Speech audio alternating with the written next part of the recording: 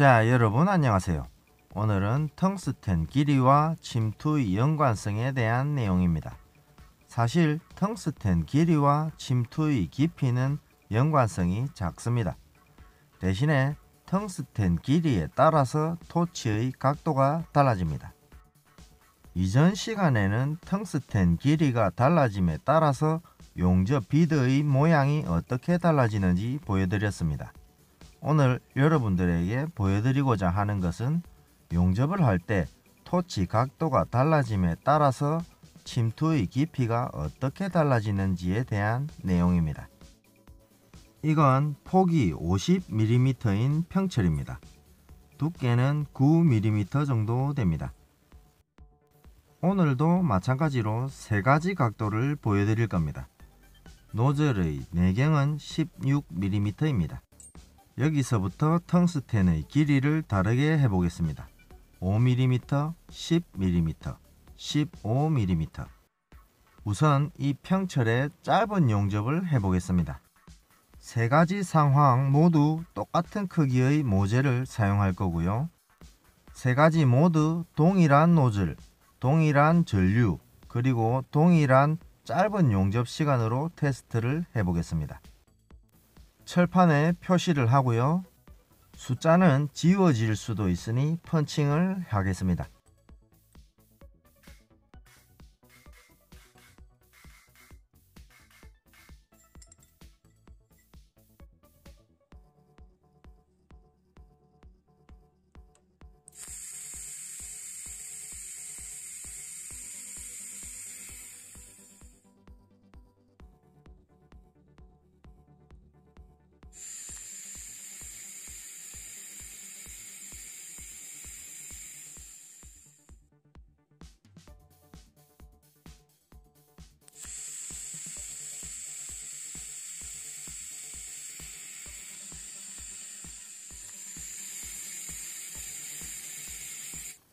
토치 각도가 달라짐에 따라서 용융풀의 모양과 크기가 달라진다는 것을 알 수 있습니다. 이렇게 하면 더 잘 보이죠? 뭐, 확인하시고요. 자 보신 것처럼 모든 조건들을 동일하게 하고 토치의 각도만 다르게 했습니다. 그런데 모양과 크기가 서로 다른 세 가지 종류의 용접 결과물이 나왔습니다. 그럼 이제 이 세 가지 종류의 용접들이 어떻게 침투되었는지 보여드릴게요. 태, 권, 얍!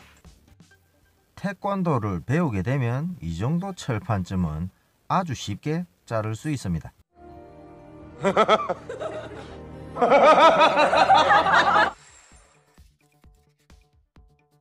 보시는 것처럼 모든 용접 조건을 동일하게 설정하고 토치 각도만 다르게 했습니다. 그러면 침투의 길이, 깊이, 면적 등이 달라진다는 걸 알 수 있습니다. 텅스텐 길이가 5mm일 때와 10mm일 때를 비교해서 측정해 보겠습니다. 텅스텐 길이가 5mm일 때 침투가 안되고 남아있는 깊이는 5mm 정도입니다.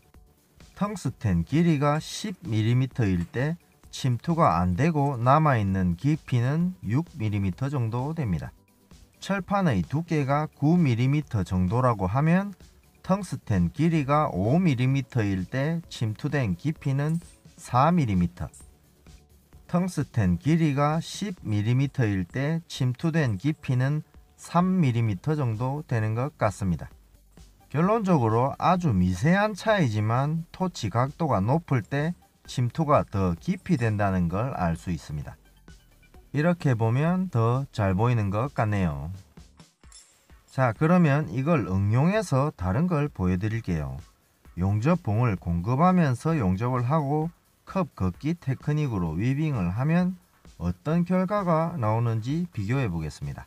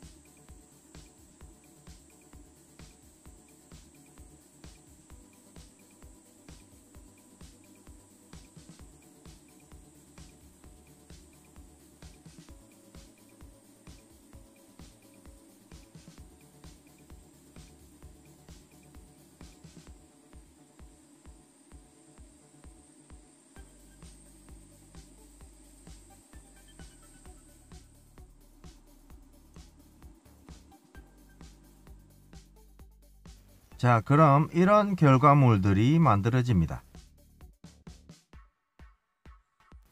전류는 250A를 사용했고요.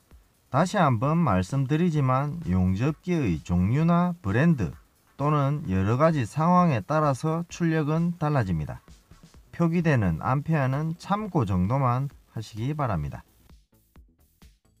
자 여기 보시면 이전 시간에 말씀드렸다시피 텅스텐 길이가 달라짐에 따라서 토치의 각도는 달라집니다. 그리고 토치 각도가 달라짐에 따라서 용접 비드의 모양도 달라집니다. 그 외에도 용접 결과물에 많은 영향을 줍니다.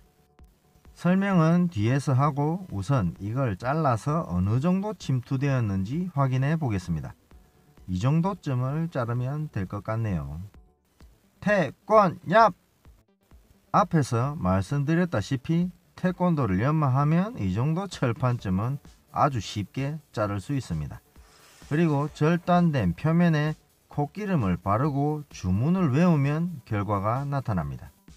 꾸리꾸리 통통통 꾸리꾸리 통통통 이렇게 주문을 외우면 침투 깊이가 나타납니다. 5mm, 10mm, 15mm입니다.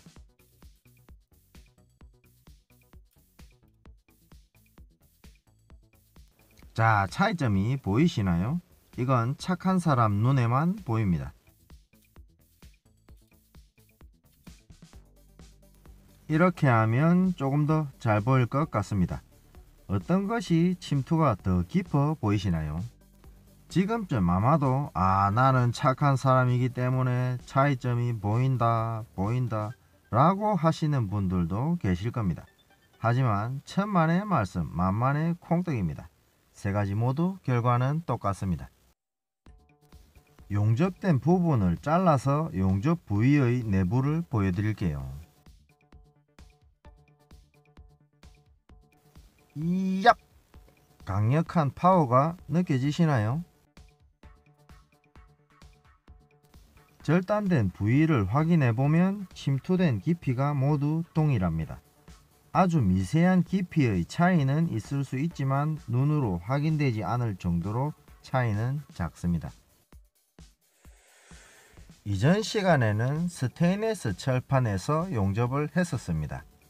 텅스텐 길이에 따라서 용접 비드의 모양이 달라진다는 내용이었습니다. 오늘은 위와 같은 조건으로 용접을 했을 때 침투의 깊이는 어떻게 달라지는지 보여드렸습니다. 한 가지 확실한 것은 토치의 각도가 높을수록 침투가 더 잘 된다는 것입니다. 하지만 walking the cup 테크닉으로 긴 구간을 용접했을 때 침투의 차이는 거의 없습니다. 그 이유는 텅스텐 길이가 짧을 때 토치 각도는 높아지고 침투도 깊습니다. 하지만 피치 간 간격이 넓어지고 그에 따라서 용접 속도도 빨라집니다. 그렇기 때문에 이별량이 낮아지고 그에 따라서 침투의 깊이 또한 낮아지게 됩니다. 반면에 텅스텐 길이가 길 때에는 토치 각도가 낮아지고 침투도 낮아집니다. 하지만 피치 간 간격이 좁아지고 그에 따라서 용접 속도가 늦어집니다. 그렇기 때문에 이별량이 높아지고 그에 따라서 침투의 깊이 또한 깊어지게 되는 것입니다. 용융풀의 작은 파도라는 동영상에서 보여드렸습니다. 한 곳에 지속적으로 열을 가하면 침투의 깊이는 점점 더 깊어지는 원리입니다. 이렇게 불이 빨리 지나갔을 때와 천천히 지나갔을 때가 이별량이 서로 다른 원리이기도 합니다. 그런데 만약 토치 각도를 높이고 피치 간 간격이 좁은 용접을 했다면 침투의 깊이는 더 깊어졌을 것입니다. 오늘 보여드린 내용들을 응용하신다면 여러가지 상황에서 응용하실 수 있습니다. 많이 채우는 용접, 필렛 용접, 그리기 용접, 뭐 등등 이런 것들도 차후에 보여드리도록 하겠습니다. 그리고 오늘 보여드린 내용 중에는 이별량과 실드 가스에 대한 내용도 있었습니다. 하지만 영상이 너무 길어지는 것 같아서 그건 차후에 보여드리도록 하겠습니다. 자, 오늘은 이걸로 마치겠습니다. 오늘의 내용이 재미가 있었다면 좋아요 눌러주시고요. 재미가 없었다면 어, 다음에는 재밌게 만들어 볼게요. 그럼 다음에 또 봐요. 시청해 주셔서 감사합니다.